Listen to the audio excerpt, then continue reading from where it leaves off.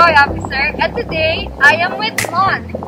He is our Hello. bar associate and is going to teach us our signature drink, which is the welcome drink, also known as the Filipino version of margarita with no Alcohol.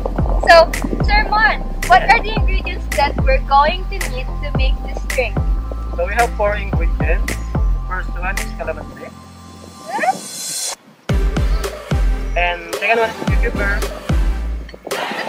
One fact is that some of the ingredients that we're going to use today is actually harvested from our Taranuman farm. Isn't that right? Right, ma'am. Yes. So let's get started with our drink, shall we? Yes, let's do this. Okay. What is the first step to make First this step drink? is the cucumber. Okay. You can put the cucumber first. So you have to peel the cucumber and remove the seeds and then put it inside the blender. There. Second one is uh, calamansi syrup. Here. So, Sir Mon, what if uh, calamansi is not available in our home or in the market? Can we use any alternative instead? Yes, ma'am. You can use the lemon. Oh, so The same with the calamansi. But uh, we use the local one. It's called uh, Chinese lemon.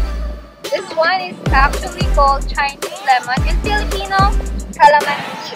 And then you can also use lemon if you don't have calamansi available in your area.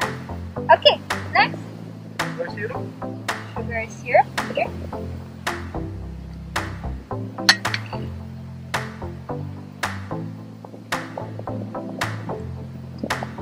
Are there any alternatives that we can use if we don't have sugar syrup available at our home? Yes, uh, you can use the powdered sugar. Powdered sugar. Is it uh, so the white one? Wait, Yes. Put some water up in a blender. Then we can build